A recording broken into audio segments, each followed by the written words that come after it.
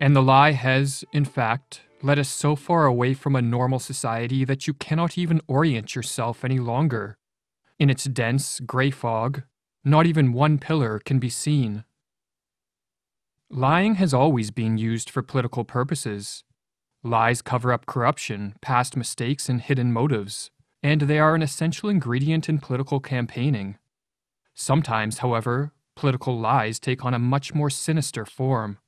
The lies become all encompassing, embrace all aspects of life, and infect every corner of society. This occurrence is a sign that totalitarianism may be rising, for as the political philosopher Hannah Arendt noted, totalitarianism, at its essence, is an attempt at transforming reality into fiction. It is the attempt of corrupt and pathological state actors to impose a fictional account of the world onto the entire population. In Nazi Germany, it was the idea of a superior race and an unclean people that formed the big lie. In the Soviet Union, it was the belief that state communism could work and that all could be made equal. And from the big lie trickled down a stream of endless little lies. Referring to communist Russia, Alexander Solzhenitsyn wrote In our country, the lie has become not just a moral category, but a pillar of the state. Describing Czechoslovakia under Soviet rule, Václav Havel similarly explained Life in the system is so thoroughly permeated with hypocrisy and lies. Because the regime is captive to its own lies, it must falsify everything. It falsifies the past, it falsifies the present, and it falsifies the future. It falsifies statistics. When a political system rests upon a bed of lies, what can be done to turn the tide back towards truth and freedom? In this video, drawing from the insights of Alexander Solzhenitsyn and Václav Havel, we are going to explore this question. The day before he was exiled from the Soviet Union, Alexander Solzhenitsyn published a short essay titled Live Not by Lies, and in it he wrote We are approaching the brink. Already a universal spiritual demise is upon us. A physical one is about to flare up and engulf us and our children, while we continue to smile sheepishly and babble. But what can we do to stop it? We haven't the strength. But we can do everything, even if we comfort and lie to ourselves that this is not so. It is not they who are guilty of everything, but we ourselves, only we. When a state turns totalitarian, the individuals who live in these societies are not merely its victims. All the totalitarian regimes of the 20th century rose to power amidst thunderous applause, as many citizens openly called for the brutal control that defines this form of rule. Without mass support and compliance, the minority in the ruling class would be but paper tigers, the responsibility for the oppression, suffering, and loss of life that comes in the wake of totalitarianism, therefore, cannot be placed exclusively on politicians and bureaucrats. A large portion of responsibility must be placed on the citizens who support this form of rule, or else do nothing to resist. Václav Havel explains in his book, The Power of the Powerless. There is obviously something in human beings which responds to this totalitarian system, Human beings are compelled to live within a lie, but they can be compelled to do so only because they are in fact capable of living in this way. Therefore, not only does the system alienate humanity, but at the same time, alienated humanity supports this system as its own involuntary master plan, as a degenerate image of its own degeneration, as a record of people's own failure as individuals, if the fuel for the growth of totalitarianism is weak and fearful individuals, then a cure is a personal revolution that takes place in hearts and minds and leads to an awakening of self responsibility, courage, and strength. The best resistance to totalitarianism is simply to drive it out of our own souls, our own circumstances, our own land, to drive it out of contemporary humankind. Alexander Solzhenitsyn's writings played a major role in toppling the communist Soviet Empire, and he advised we engage in such a personal revolution by transforming our life in a way which targets the most vulnerable part of the totalitarian system the lies upon which it is built. In Live Not by Lies, Solzhenitsyn explains And therein we find, neglected by us, the simplest, the most accessible key to our liberation a personal non participation in lies. Even if all is covered by lies, even if all is under their rule, let us resist in the smallest way.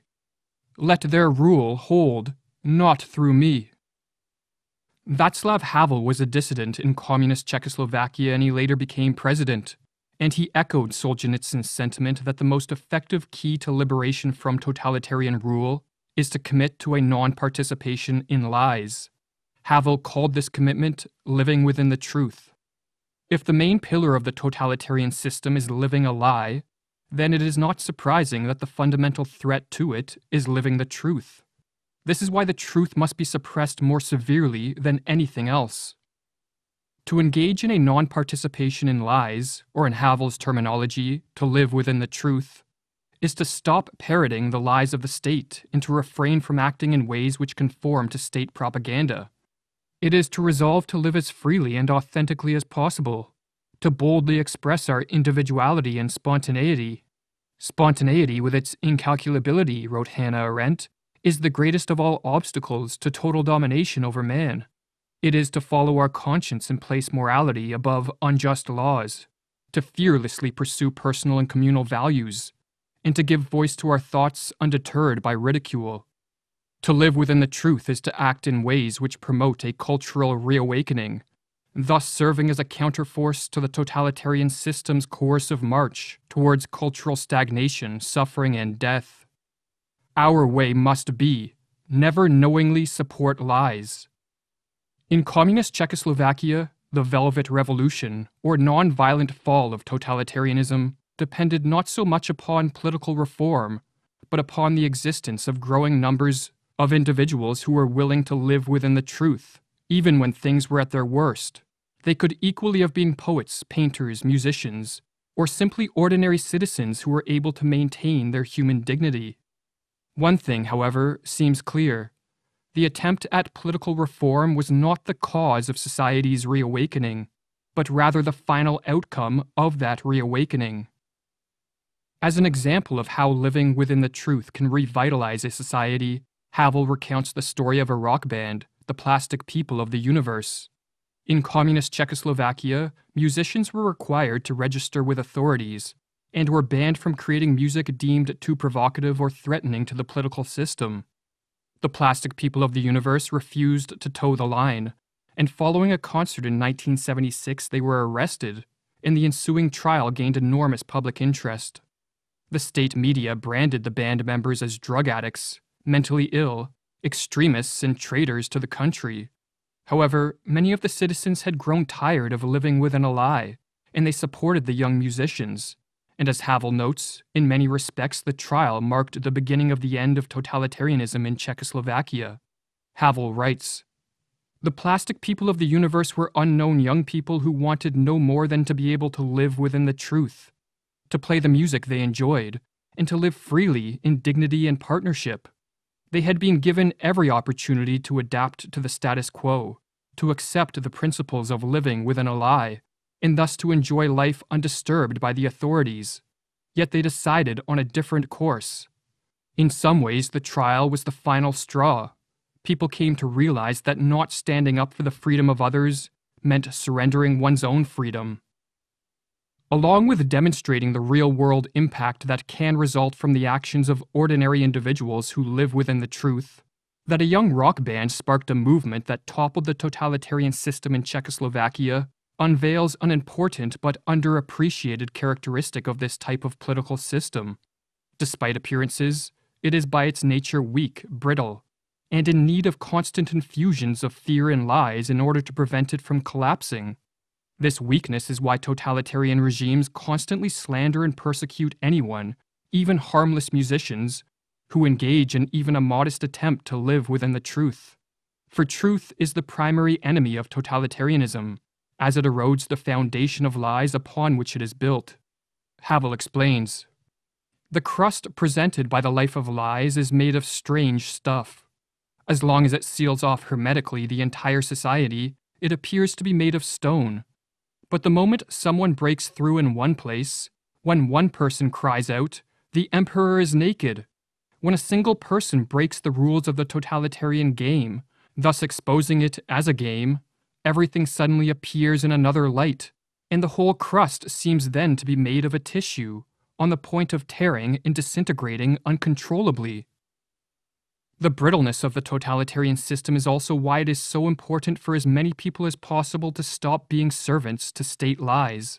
For just as our failure as individuals fuels the totalitarian system, so too it is a renewed courage of individuals to live within the truth which weakens and eventually destroys it. Totalitarian systems condition their citizens to believe that the individual is powerless to effectuate social and political change.